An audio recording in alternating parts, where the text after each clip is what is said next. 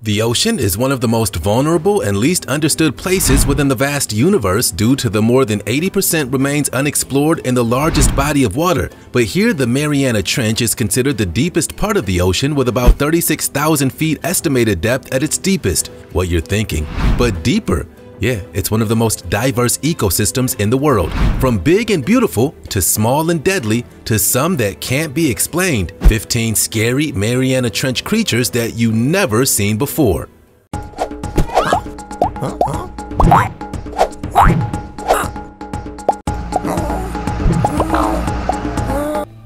Sixty-foot shark. This incredible footage, reportedly shot by Japanese marine biologists, show a massive shark a 60-foot beast swimming a mile down in the deepest part of the world's oceans, the Mariana Trench.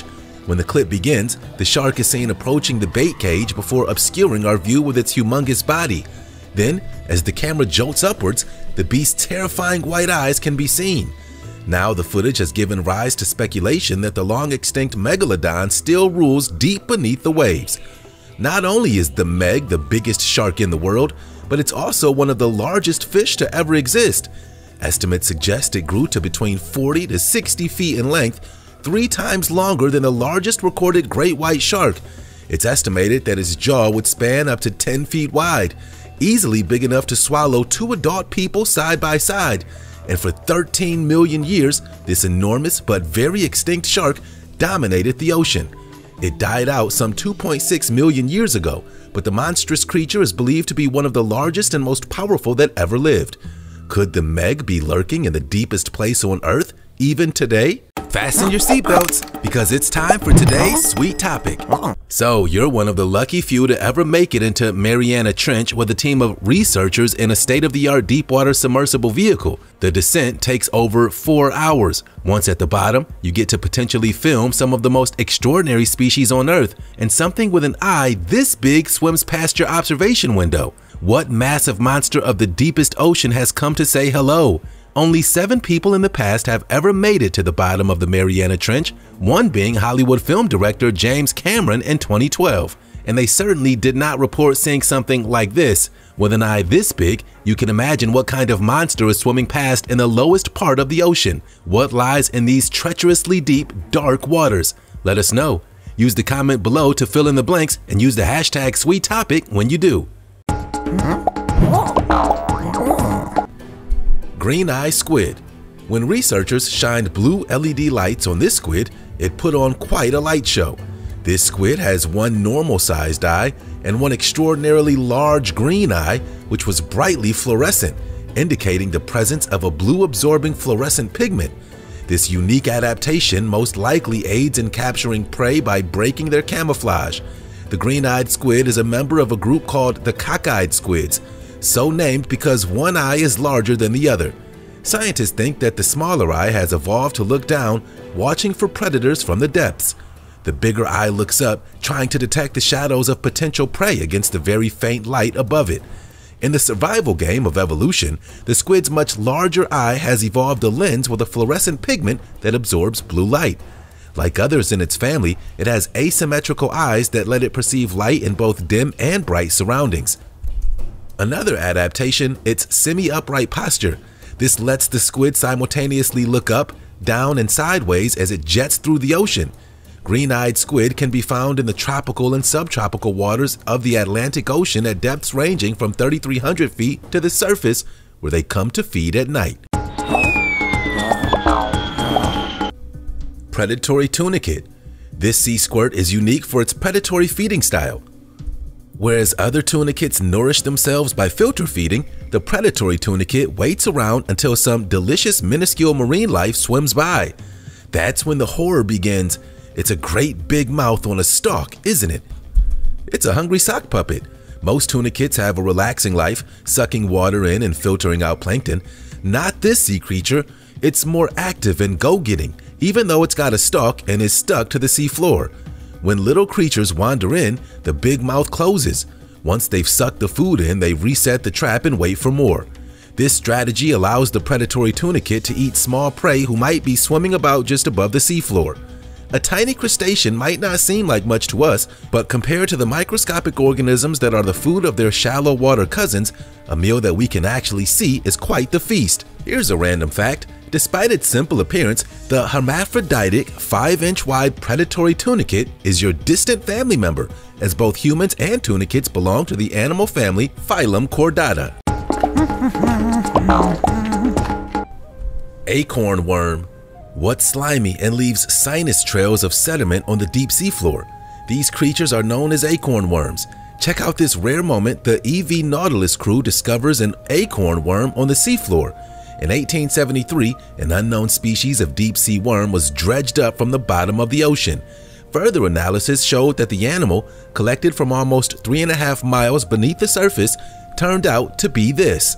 For nearly 140 years, that was the last that humans would see of this type of worm. Acorn worms are actually in their own scientific class and are very interesting animals to observe in the wild. The main reason that the animal hadn't been spotted in so long is that it's very fragile and tends to fall apart when dredged. Ideally, the animals are collected with submersibles, where they can be delicately plucked from the ocean bottom. The deep sea acorn worms are quite different from their shallow water relatives, which are more muscular, sturdier, and easier to sample. The shallow water variety also tends to dig burrows and siphon particles from the seafloor. The rediscovered species, however, crawls along the ocean's bottom, eating particles of food as it moves. Gran Rojo Jelly. For some of us, it looks like a big red spaceship cruising the ocean depths, but it's actually a new species of jelly that was discovered by scientists. With a bell diameter of up to 3 feet wide, the new jelly, named Gran Rojo or Big Red, would seem tough to miss, except that it lives deep below the ocean surface, at depths of 2,000 to 4,800 feet. Scientists observed the jelly using video cameras on deep diving remotely operated vehicles. Although scientists saw this jelly during dives as early as 1993, it was not recognized as a new species until several years later. Its large size and deep red color are distinctive, but what really sets the Gran Rojo jelly apart is that, unlike most jellies, it has no tentacles. Instead, it uses its four to seven fleshy arms to capture food. The Gran Rojo is thought to be much like other jellyfish in that they don't have a heart, bones, eyes, or even a brain. In addition, it's likely made up of about 95% water, yet it's an avid hunter and is able to move easily from location to location. As for its habitat and distribution, the Gran Rojo is found in many areas including those across the Pacific Ocean and the Sea of Cortez, Monterey Bay, Hawaii, as well as Japan, and of course, the Mariana Trench. Mysterious creature. They call it Deepstaria enigmata, a very rarely seen giant jellyfish one of the ocean's more mysterious jellyfish has been difficult to study because of its natural habitat in the dark depths of the trench. But technology is opening up those depths to our curious eyes, which recently led to a 10-minute encounter with this peculiar, tentacleless creature. Its bell is large, and it's been hypothesized that this jellyfish is an ambush predator that uses its entire bell membrane to catch upward moving prey, closing around it like a blanket the bell of this jellyfish is very thin and wide and resembles a translucent, undulating sheet of lava lamp as the animal moves. They also are solitary creatures and live all by themselves, contrary to the group living style of many jellyfish. Have you ever seen anything like this before? The large bell of the jellyfish has been proposed to be used for either locomotion or feeding when closed. The Deepstaria also has a geometric mesh pattern throughout its entire body, the mesh delivers nutrients to the entire jelly as it stretches and contracts to move and capture prey. Plus, the gastrovascular system of this mysterious creature can be clearly seen through its skin. Freaky and fascinating at the same time. Gigantic squid. Florida scientists have achieved the holy grail of natural history cinematography, capturing a living giant squid on video, a 10 to 12 foot juvenile in the Gulf of Mexico. It's the first giant squid ever recorded in U.S. waters. Giant squids are elusive, mysterious creatures that have starred in more than a few pirate legends like the Kraken. But human knowledge of this squid is based on very few specimens that have been captured in deep sea fisheries and on beaks that have been found in the stomachs of this species' most significant predator, the sperm whale. But did you know that these massive squids are reported to measure up to 45 feet in total length when fully grown? These amazing creatures were first identified in 1925. However, since then, few specimens have been recovered and there's still very little known about this species. The team used a stealth camera system called the Medusa in their deep sea exploring. Described as unobtrusive, the machine, which was on its fifth deployment into the deep sea, uses red lights that aren't visible to the creatures and isn't noisy. The machine baits creatures with an electronic jellyfish which imitates the deep sea. Prey these squids love. Living adults have only been filmed once before and never alive in US waters so getting to see one so up close in its natural environment is extremely rare. Green Bomber Worm When danger approaches, it bombs away for this unusual worm. In the ocean, the Midnight Zone is a world of total darkness where predators lurk in the shadows ready to pounce on prey. One, named the green bomber worm, lives as deep as two miles beneath the surface the newly discovered species releases tiny balloon-like structures that glow in the dark to distract predators, scientists have found. It's a segmented worm that releases tiny fluid-filled sacs that glow in the dark. Crazy, right? The researchers observed worms swimming backwards too, after dropping the bomb, so to speak. Liberating part of one's body as an escape tactic is rare, but not unheard of.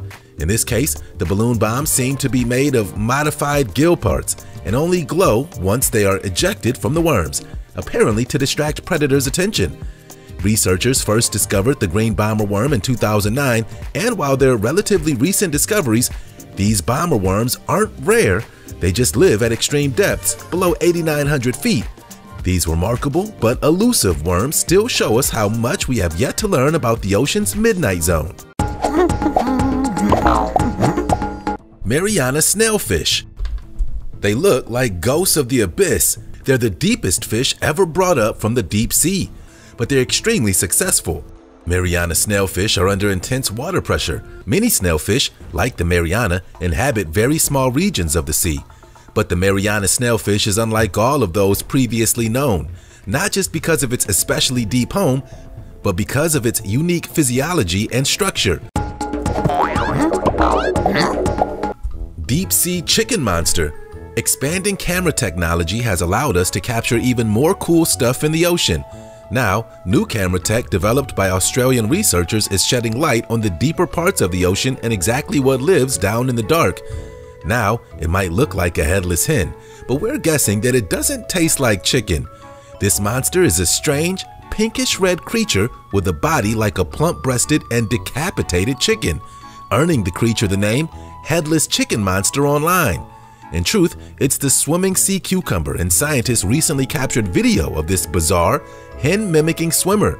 But unlike most sea cucumbers, the headless chicken monster has fins which allow it to swim upward to escape predators. On average, they measure between 2 and 8 inches in length. Adults' colors can range from dark reddish brown to crimson, though juveniles are typically a paler shade of pink. While most types of sea cucumbers spend the majority of their time on the seabed, swimming sea cucumbers like the headless chicken monster land only to feed. The researchers detected the swimming sea cucumber at a depth of about 9,800 feet below sea level in the Southern Ocean near eastern Antarctica, where it's never been seen before. Alien basket stars they're found all over the world, but most of them live in the deep sea and reach 2 feet across when you include the arms. Basket star have five arms sprouting from their central disc, and each arm branches out over and over and over again until you end up with a kind of mesh, the basket. These are incredibly flexible tendrils. One interesting thing is that basket stars have a covering of leathery skin on their arms. And like other echinoderms, basket stars lack blood and achieve gas exchange via their water vascular system.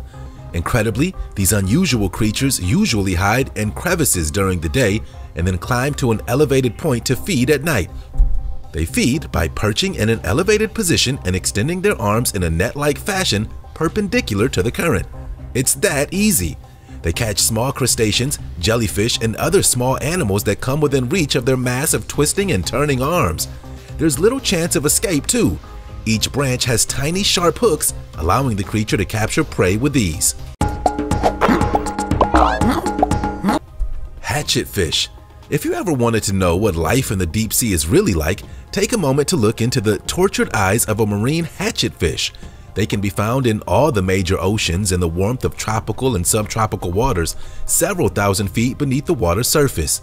These ghostly creatures get their name from their hatchet shape when seen in profile. You probably won't have these scary fish in your aquarium or at home. Here in the trench, there's enough light for a good set of eyes to be useful, and hatchet fish, therefore, have a good set of eyes. They even point upwards so that they can look skyward and soak up as much light as possible.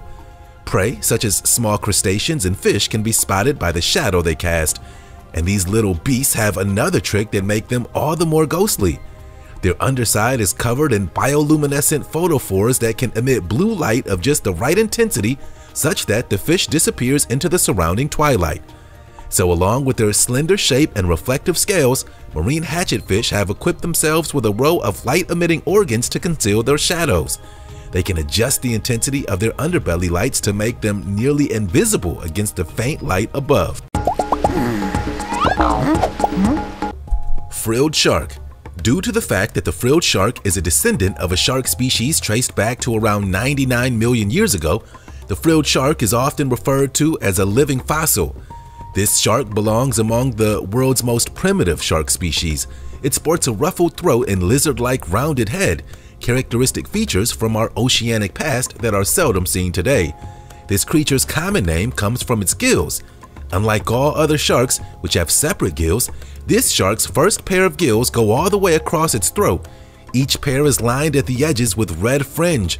Because of the great depths at which this species lives and its widely dispersed distribution, few humans will ever set eyes upon a frilled shark, and any that are found are great interest to the scientific community. Shark skeletons are made of cartilage and therefore don't fossilize well, so most of what we know about their ancient kin comes from their mineralized teeth. The frilled shark's mouth is just as terrifying as the maw of a great white. It's lined with 25 rows of backward-facing, trident-shaped teeth, 300 in all. Its long jaws may allow the animal to gape extra wide and take in prey half as long as its body. Black Sea Devil What makes the Black Sea Devil a deep sea mystery is that there's not a lot of known information about it. Black Sea Devils have a gaping mouth, needle-sharp teeth, a slightly startled expression, and a lure atop their head that lights up. It's unknown if there is a pattern for the illumination or if the light is continuously kept on. This lure is used to attract prey. If the anglerfish's toothy jaw and dead-eyed stare creep you out, take some comfort in the fact that they can be small, just three and a half inches long. Its dainty size, plus its preferences for the dark, deep sea, help explain why sightings are so rare. Unfortunately, fewer than half a dozen anglerfish have ever been captured on film. Ill-equipped might be an understatement. However, a female black sea devil can grow to about the size of a baseball. The males are even smaller and are actually more of a parasite than a fish. Males are ill-equipped for feeding and their sole responsibility appears to be to find a female and mate with her as soon as possible. Once he finds his female anglerfish mate, he bites into her belly and latches on until his body fuses with hers, and the Black Sea Devil's circle of life continues. Squid with shoulders. Squids from the Magnapinna genus, known as big fins for their distinctive flappy fins, were spotted in deep sea surveys recently. This footage shows the big fin squid at a depth of one and a half miles, and as you can see, they're one of the deep sea's more ethereal, unusual creatures. Their fins are up to 90% of the length of the body, and they have next level long arms. The squid often will hold some of the arms at a 90 degree angle from the side of their body, which gives them the appearance of having shoulders. The distinctive elbow-like kink is another subject of curiosity. It could be a way to prevent their tentacles from getting entangled. Scientists believe that they feed by dragging their arms and tentacles along the seafloor, grabbing organisms off the floor. It's a simple trapping technique, waiting for prey to bump into their super long arms. The appendages come with microscopic suckers. And incredibly, a big fin surprised the researchers by raising one long arm above its body and holding it there, a baffling behavior never before seen in squids. The posture could have something to do with their filter feeding, they speculated, but the truth is nobody knows for sure. What else will the experts find in the deepest place on Earth? We're gonna have to just wait and see. The search isn't quite over yet. Like and subscribe and tell your friends. There are more great videos on the way.